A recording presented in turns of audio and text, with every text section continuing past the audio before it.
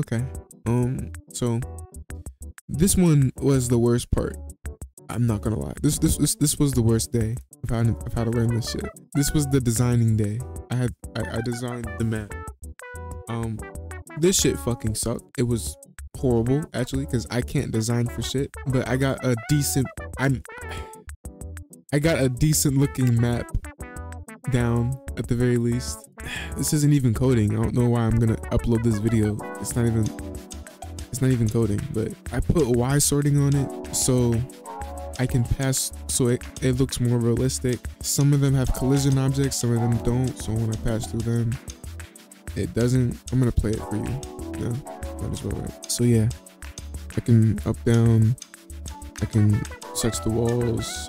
I can't go up here because collision or whatever. I don't give a fuck anymore, dude.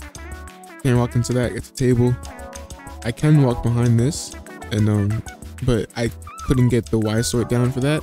So I have to create an entirely different layer, I think, specifically for these little fuck. Relax. So yeah, you can walk up to this table. You can walk through this chair because it's a chair. Can't walk through this little gap here though. Collisions, collision area is too too big for that. Um, I can I can you know touch the wall. My legs disappear when I get too when I get too low. Super cool. And that's literally all it is. It took me an entire day to get that down. Yep. Um, starting starting starting to think about quitting. Not gonna lie.